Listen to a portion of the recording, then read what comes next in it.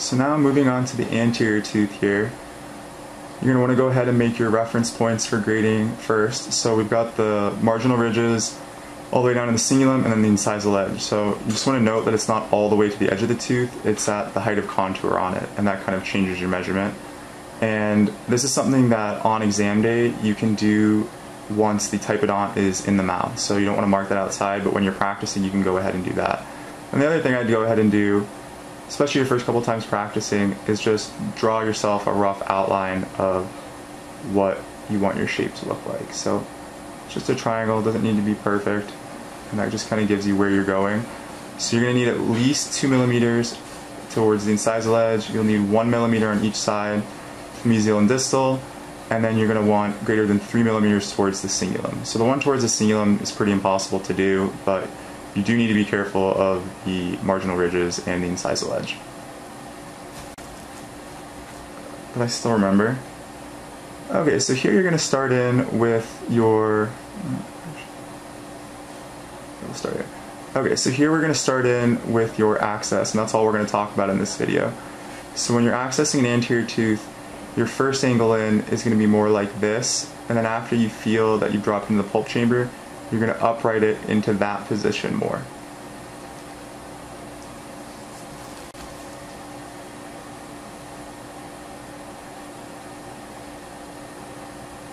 So here we're just going to use a two round bur at first to kind of start our access.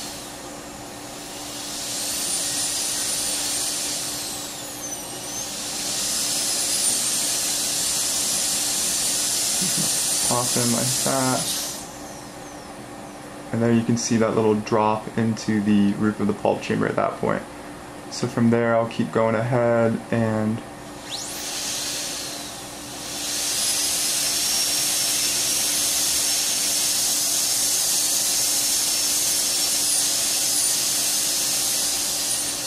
start to make a rough outline of my shape, probably about 75% of what I imagine ending up as.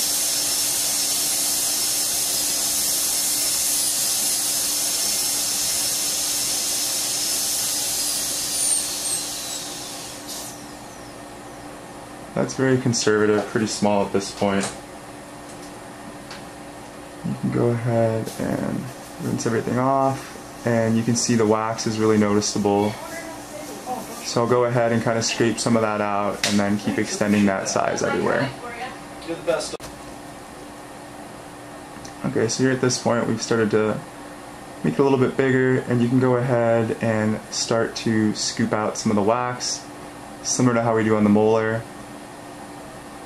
And now on this one, especially since we are doing instrumentation, this is a good point where you could stick your 10 file in and just really get a feel for what your straight line access looks like. But you can see that, yeah, it extends facially.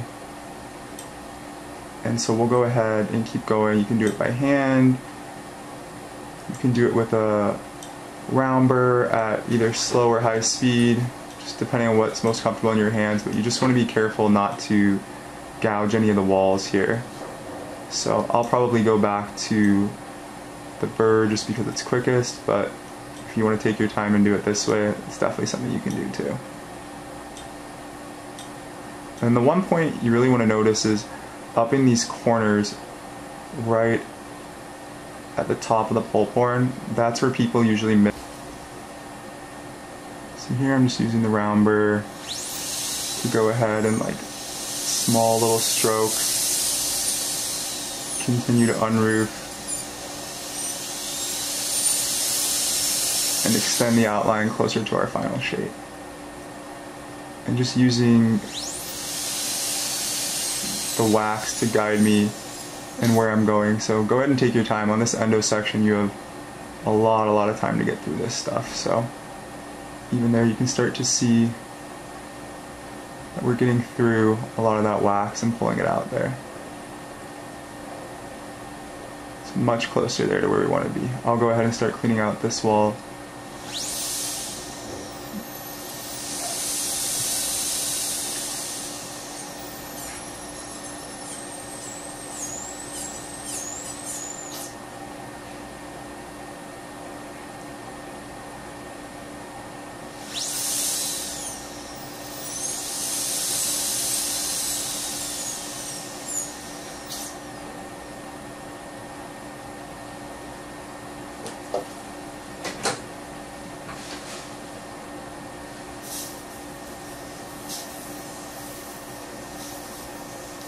So now you can see on the facial wall we've got that cleared out.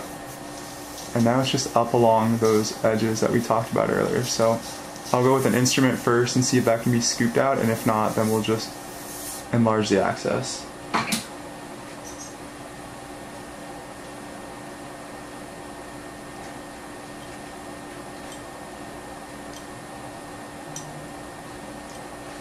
There's some spots up there you can kind of feel it.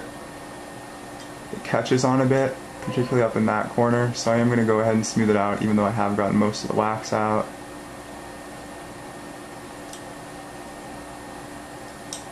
And then same thing over here.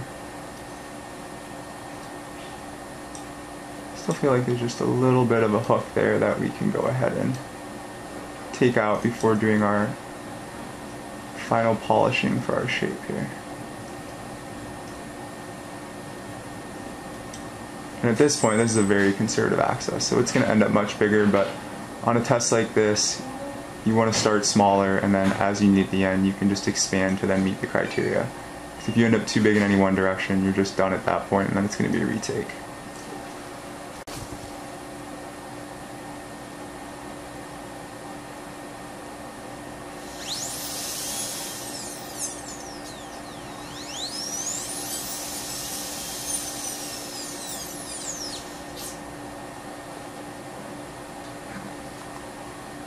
Shh.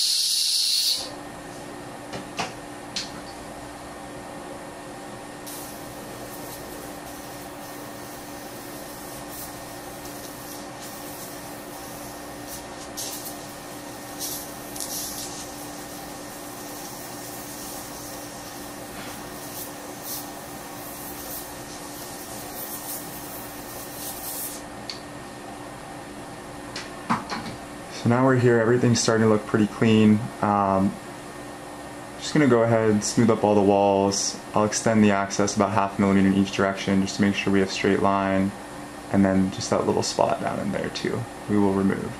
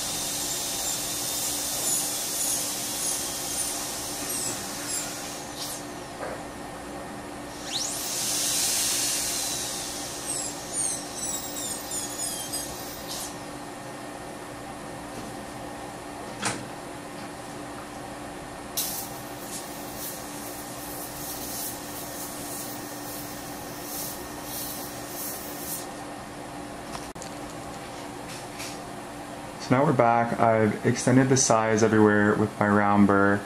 You can still see some little pink shading, and so we just go through and scrape that to make sure that that's not actually any wax. That is our simulated pulp tissue in there.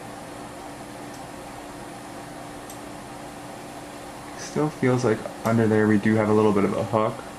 So we will go ahead and extend it some more, but you can kind of see that tactile sensation there. And this is a point where you can keep unroofing on the upstroke with your round bur. If you want, you can just use an Endo Z and use it just the first couple millimeters because that's not that deep going that direction. But it seems like we've gotten almost all of it picked out. And then you'll see the red down there. That's just to do with the actual canal that you'd be instrumenting as the second part of this, but we're not going to discuss that in this video. So here, yeah, we'll go ahead and, I mean, that looks pretty clean. So let's just go ahead and get rid of those hooks there and make sure that there's a smooth exit out of our access for filing.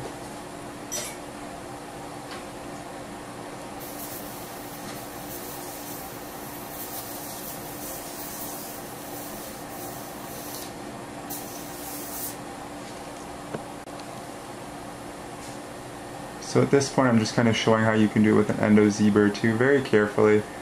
I'm doing it on high speed because we don't have a slow speed here, but this is a great time to use your slow speed. You can kind of see those little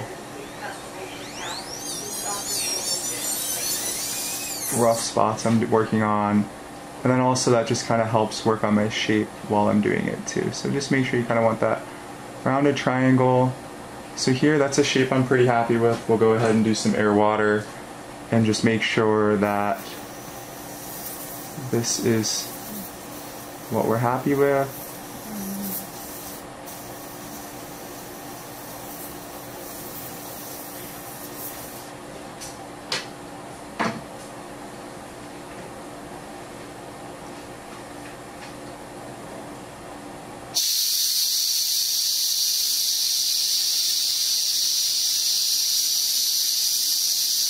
So us, that looks really good now.